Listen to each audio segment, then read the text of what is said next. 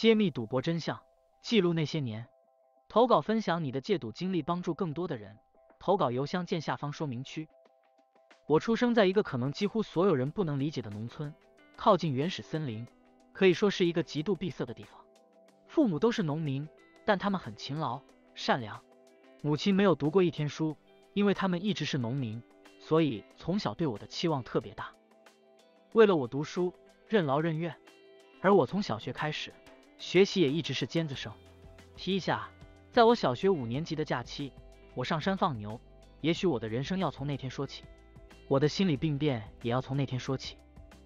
因为那天我出意外了，把我的门牙给弄掉了一个，而且嘴皮留下伤痕，也就是破相了。也就是从那天起，我承受了心理病的半生。由于父母是农民，他们勤劳善良，但他们不懂得心理疏导。从此我变成了自卑的性格，也极度自负的一个人，心里永远害怕恐慌，怕别人在后面指指点点。但是有一点，不是我自夸，我可能天生的聪明，虽然读书逃课，上课睡觉，但最后还是考上了一个大学本科师范。这个读书过程中，从高中开始，由于心理自卑，就学会了赌博。但当时玩的小，对我并没有多大的影响。由于心理的关系。就想着将来一定要挣大钱，要证明自己比别人强。上大学大一的假期，被一个朋友叫去玩。你可能想不到，我进了传销，后面被洗脑、被骗，只能怪自己的性格，学业放弃了，从此正途没了。就这干了一年的传销，发现是个骗局。当时就是前后无路，怎么跟家里交代？最后走投无路，只能回老家。因为传销这件事，更是让自己的心理变得扭曲、不正常。回家后听到更多的闲言碎语，把我刺激的更不正常。我一定要证明我自己。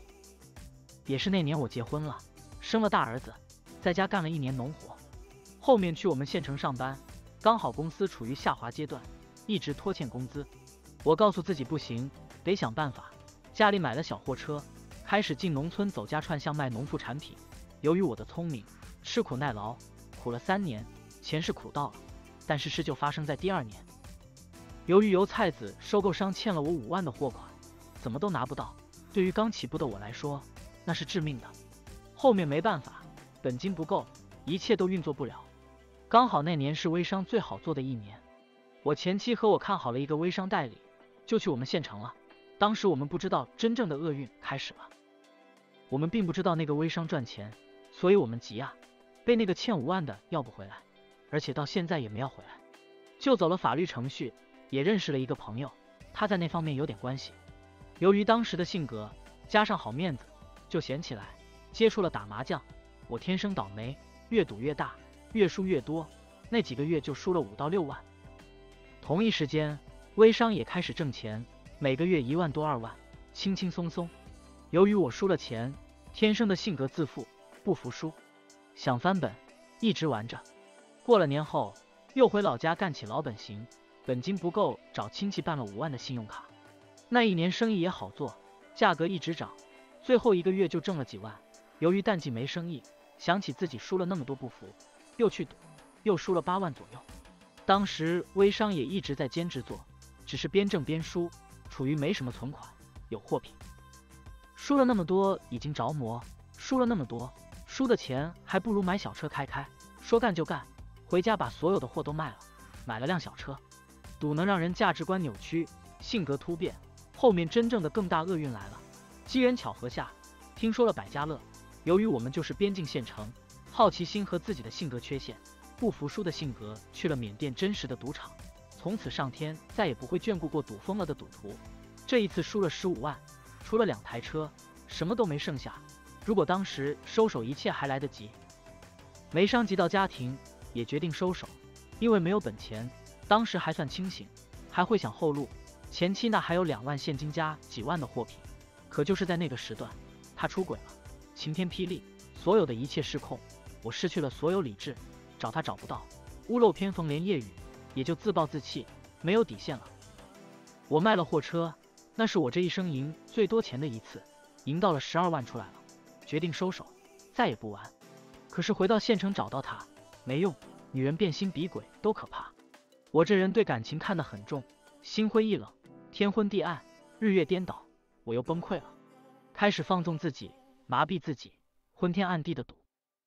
一开始输了很多钱，但我认为我守得住最后的底线，永远不敢去借高利贷、赌场的放水钱。